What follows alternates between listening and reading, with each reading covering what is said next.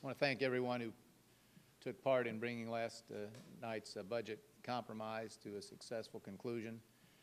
Um, Best we can tell, only three states in America uh, that do not have oil and gas revenue raised education as we did.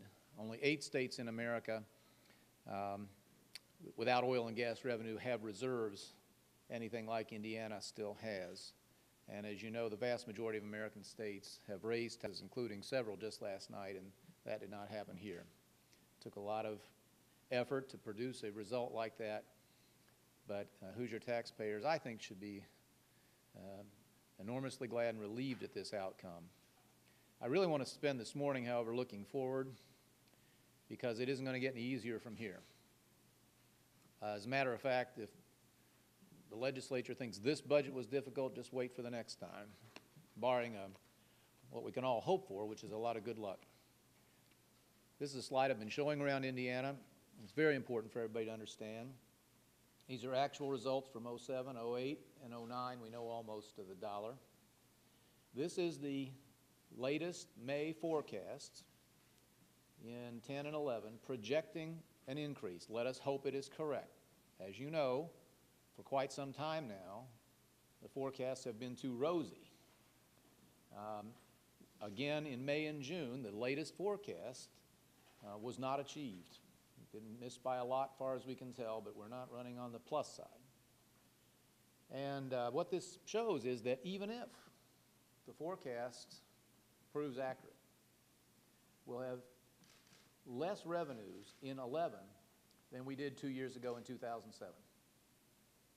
So incredible caution and care with tax dollars will be required.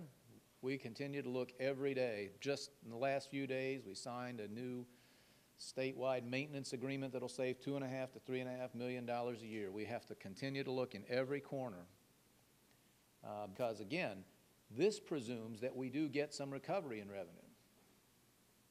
But even if that happens, we will be dealing with fewer dollars two years from now than two years ago. So um, with profound thanks to everyone who produced a really good outcome last night, let me just say that uh, the, the, work of protecting taxpayers uh, will have to continue.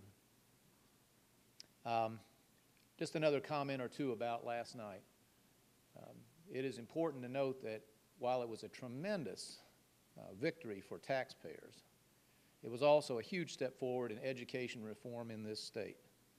I spoke this morning on the phone to Secretary Duncan, President Obama's Secretary of Education, and he congratulated Indiana on uh, reforms like the uh, end of the caps on charter schools, like the end to the uh, ridiculous prohibition against looking at student achievement in evaluating teachers. You might recall that it is the position of the Obama administration that any state having those policies would not be eligible for the race to the top education funding. We have now, thanks to last night's agreement, made Indiana eligible, and we will pursue education grant funding to move forward. Um, I, I, heard it said in floor debate, I think uh, in overheated fashion that this budget means the end of public education as we have known it, to which I say, thank goodness. We have to have change in public education. We had to end these Stone Age policies, which the Obama administration agrees with us completely on. And we have to move forward now toward better results, the kind that our kids will need to compete in this world. So in addition to um, striking a great uh, bargain that protects uh, taxpayers in this state almost uniquely in America. We've done a good thing for our kids and for the future of uh, their future and our state's future.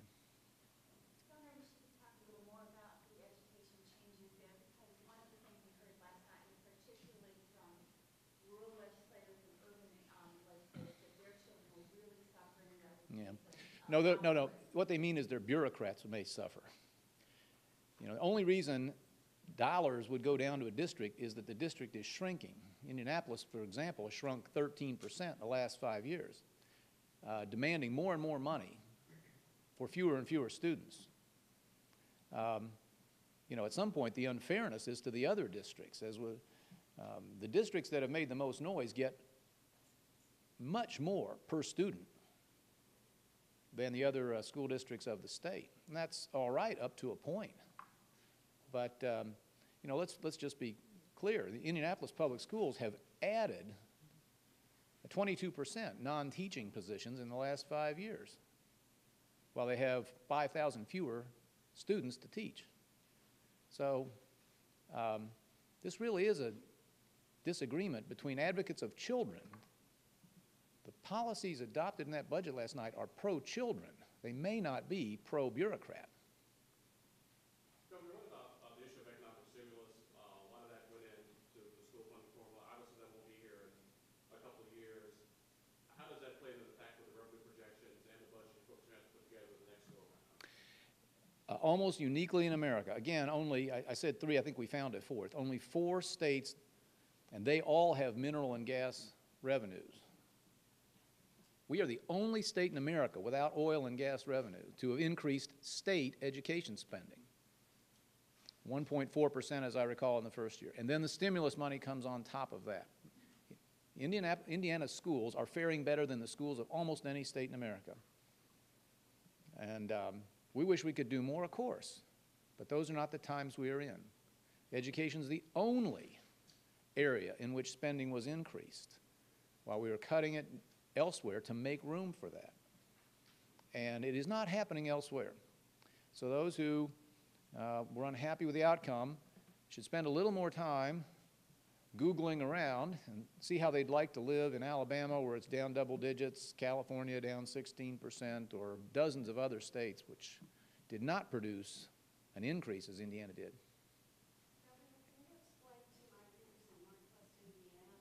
Why we're so worried about money, that money is being spent to bail out the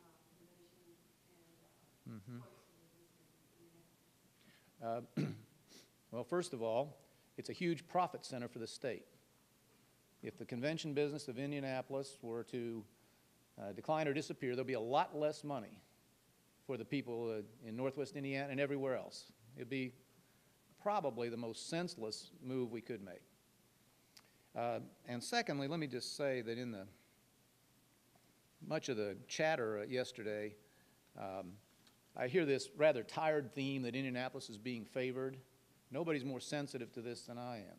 Now, Northwest Indiana was showered with new uh, programs, and by the way, I support a lot of these. I've been trying to get the Little Calumet flood control project done for a long time, and now we will. There's shoreline development in South Bend, a trauma center in Gary. Um, there are university capital projects all over the state. Um, people keep overlooking that the professional uh, Sports Development District, that's the mechanism for uh, boosting the CIB here, was also boosted for the second time this year in Evansville. I heard complaints from, you know, Evansville and about uh, somehow nothing happening down there. A double bailout for the Evansville professional, if that's what you call it, I don't, professional development district there, one for Fort Wayne, and a, a double dip for South Bend. So I think the legislature produced a very fair and balanced budget for the whole state. And shoring up this Indianapolis CIB means more money that can be spent and is spent everywhere else. On the other side of that issue, the the mayor's office is saying this plan doesn't come nearly to the amount of money that they need to plug the deficit for good. They said they're gonna be back asking for more. We've had Republicans and Democrats, both, uh, in the legislature say that this is only a Band-Aid. Um, what's your assessment of the plan that was No, I disagree. I agree with the majority in the legislature that this was an appropriate response. The city changed its mind more than once about what it really wanted. Um, But this, uh, this is adequate. I'll just say this, I'll be here three and a half more years. I don't want to see another CIB bill. It's not necessary. Um, They can do, absolutely, they can do with the uh, amount of uh, assistance and revenue and tools that they've now been given. Why are you confident that that's possible? The spending cuts that you see They really don't have to cut anything. If they quit growing their spending, they'd be just fine. Uh, You know, the bill calls for a new board. I think they ought to have a new board. I think they ought to have new management. And this problem will be addressed very, very quickly. But just, I refer you back to the data we looked at and gathered. Look at how much less expensively equal or larger facilities are being run elsewhere in America. And the data makes it absolutely clear that uh, this can be done uh, less expensively, and they just, the question isn't can they, it's will they. You could also include the Ohio River Bridges commission language that your office really didn't want very badly. How do you see that playing out? Will it help the project along? Yeah, I- it? Might, and we- I don't, we don't object to it. Uh, I don't think, I don't know if we needed it or not, but it, uh, anything that uh, um, uh, presses ahead on this front, you know I'm very much for. I've been speaking to uh, Governor Beshear in Kentucky just within the last few days again. And um, they've made, it really was up to Kentucky to uh, take a big step. They've now created what amounts to a parallel facility there that we can work with. So I'm looking forward to, at long last, getting that project off the dime. And they're looking at tolling for, as a possibility for that project. Would that be acceptable? Sure. Sure, it might be the way to get it built at all, and certainly might be the way to get it built most quickly. And, you know, user, those who use a facility, paying for it's a pretty uh, fair and time-tested um, policy.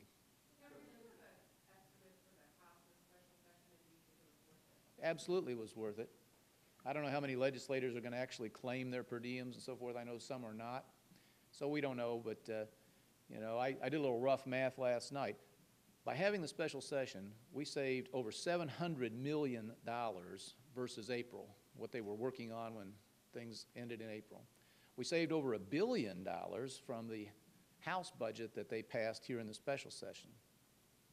So uh, taxpayers got a return of between four and 5,000 to one against a cost of, I guess, about 150,000 or something like that when it's all tallied up. So I'd rather there hadn't been one, but uh, thank goodness there was. Um, We have prevented the bankruptcy of the state. We have prevented a, what would have been an inevitable tax increase like those happening elsewhere. And so it was worth the effort and it was worth the money. Governor, you mentioned the Little Cal project. Under the bill you signed in January, as of today, that commission no longer has any commission members. Mhm. Um, Do you know when you're gonna make those appointments? And the project's gone on for twenty-eight years. Should people up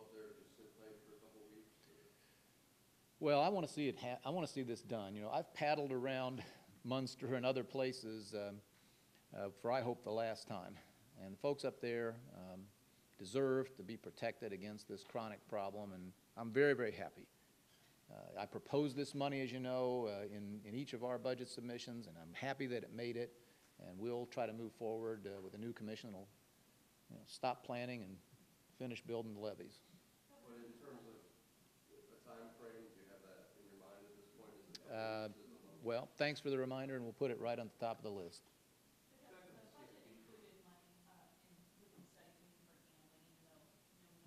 anything?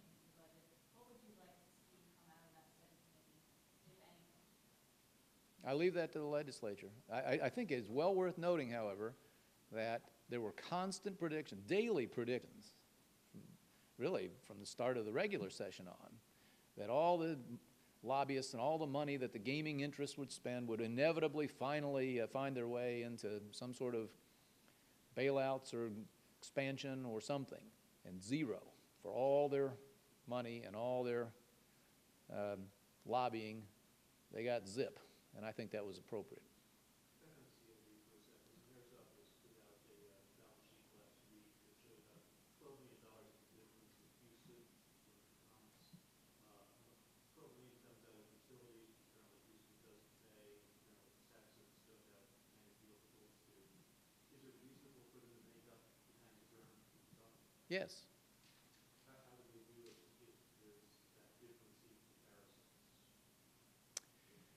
I'm not going to go into more detail about this, but the, uh, we've had multiple business analyses done, and um, I'm just going to tell you that there's no question in my mind that that place can be run a lot less expensively than they are talking about running it. And uh, they can't keep you handing out 5% a year raises to everybody, for instance. They don't need a redundant marketing department that duplicates what the um, ICVA does.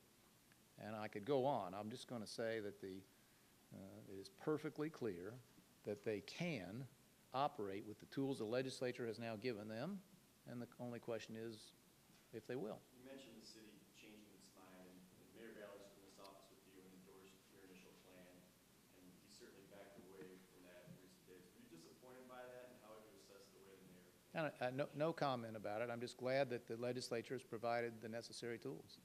Governor, on Governor, do the you school- think, do you think, that this would have got done without the weather railroad shutdown, or is that what it took? You, you'd have to ask legislators. Um, I just want to commend them for getting it done and, uh, with a whole five hours to spare.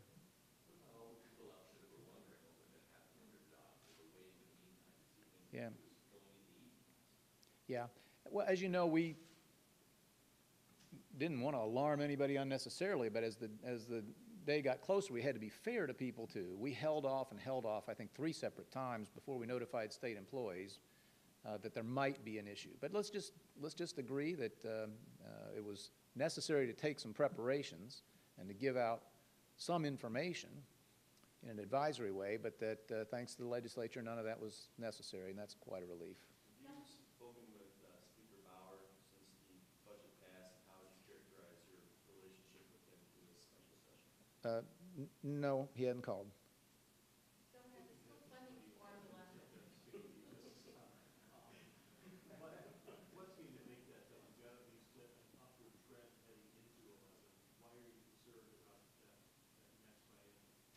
Say it again? Why are you concerned, he says that, uh, he thought this budget was done, wait till you see. Oh, yeah. With, with the upward trend in revenues, what is it that has you concerned? Do you expect that to level off? Is there- Well, I mean, just, just look at the number, Eric. That's less than we're planning to spend, significantly less than we're planning to spend in this year and next year. We're going to use some of our reserves. And um, so um, um, we will be, uh, unless there's a dr- dramatically above forecast surge, which we can hope for. Please remember that uh, another thing I'm very pleased about, the education trigger I proposed in my televised speech uh, was accepted by the legislature, and that's a great thing. If there is, uh, by, by happy circumstance, above, as opposed to the below forecast receipts we've been getting, if there's an above forecast um, revenue sometime in this time period, we'll automatically give half of it to education. And, um, uh, but let's face it, based on recent history, there's not a high percentage of that. And so even if we just meet these projections, um, there'll be a very, we'll have to make some hard decisions again if we want to stay in the black in this state. Governor, the school funding formula, um, contains still money for students who have already left the Mhm. district, and additional, the second tier of the complexity level, to give more help to schools with high proportions of Yeah. disadvantaged students. Are those things that you think that need to be gone in that next budget? No, not necessarily. I've always supported more money for the districts that have more uh, at-risk kids or that have struggled.